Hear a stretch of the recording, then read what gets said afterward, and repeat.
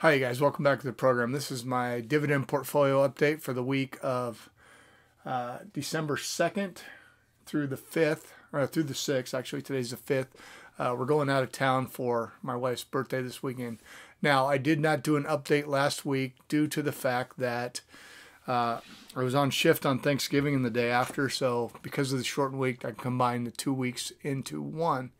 As you can see, the market is down this week. Uh, we started about 31.50 and right now we're down to 31.14.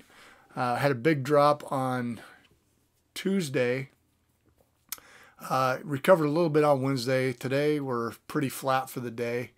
Uh, we're still at above 3100, you guys, so we're still rocketing right along as far as that goes.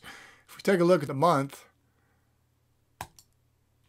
you see that it's been up and down, but for the most part, we are still up since the beginning of November. Uh, if we look back, we're below, we're right at 3080 there to start, actually uh, 3074. And currently we're at 3112, 3114. Uh, year to date is where we really get the thing. Now, this is going back to last December where we had that drop. So we went from 2447 all the way up to 3114, which is a pretty awesome climb, you guys. Overall, uh, S&P is doing really well. I like to use the S&P because it's the biggest index, tracks 500 biggest companies, and gives us a pretty good idea of what is going on. All right, you guys, moving on to my dividend portfolio. We're going to start with my M1 account, which you know is my newest account. It's also my smallest account, uh, but it's where I do have uh, several individual dividend paying stocks. If we look at the activity for the last two weeks, you see that I had a deposit uh, both last Monday and this Monday. And I would like to say that I did have my first referral bonus. Uh, thank you to Evan Burke for that, one of my subscribers who got me the $10 bonus by using my M1 link. You guys, if anybody's interested in getting uh, a free $10 when you sign up for M1. You can use my link. It does give me a $10 bonus. Uh, I do have to say that that is a referral link that I have. Uh, you certainly do not have to use it, but if you do, uh, my, my channel benefits a little bit, so I appreciate that. Uh, on Monday, I had four buys. If we click on those, we say that we bought some McDonald's, which is still down, a little bit of Walmart, a little bit of National Fuel Gas, and some waste management.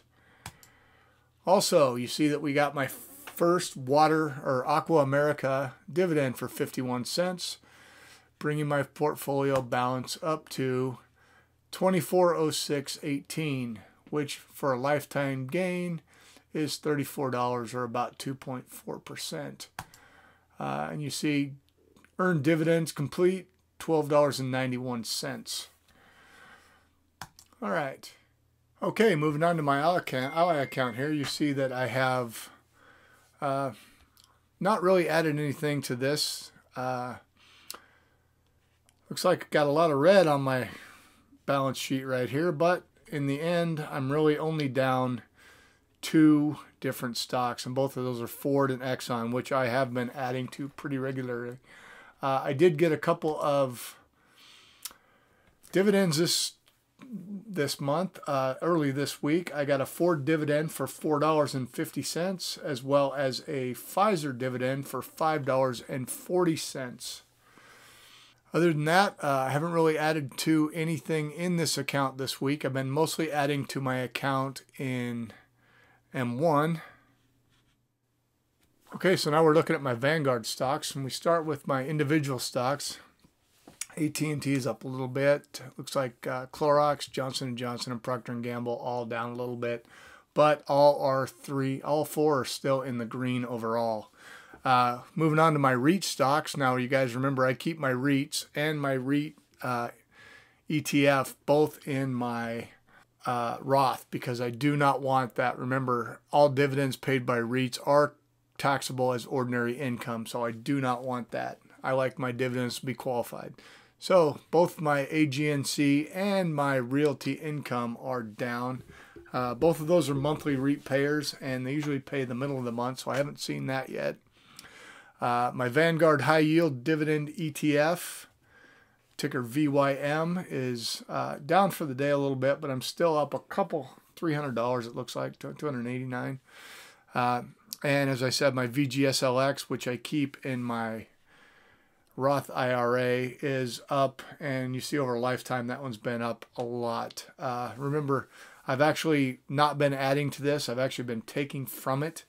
Uh, I bought that in about 2010 when it was still reasonably priced, and I've had a lot of appreciation in that one over the time.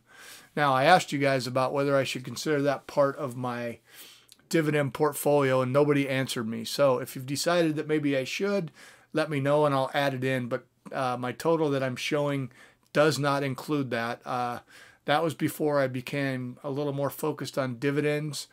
Uh, I believe you can get the market with just a few. I use the four fund method, uh, total international, total stock market. I like a REIT index, and then I have a total bond fund for my four. Uh, and since then, I've been adding individual stocks, as you can see. Once again, I wanted to thank uh, Evan Burke for him uh, using my referral link. He saw my video for M1 Finance and was nice enough to actually to actually use it, and uh, I got the benefit of that. So appreciate that. You guys, I hope you got something out of this. If you did, give me a thumbs up. If you're new to the channel, please think about subscribing. It really helps out the uh, algorithm for YouTube. And as long as you guys keep watching, I'll keep making these updates. Thanks a lot.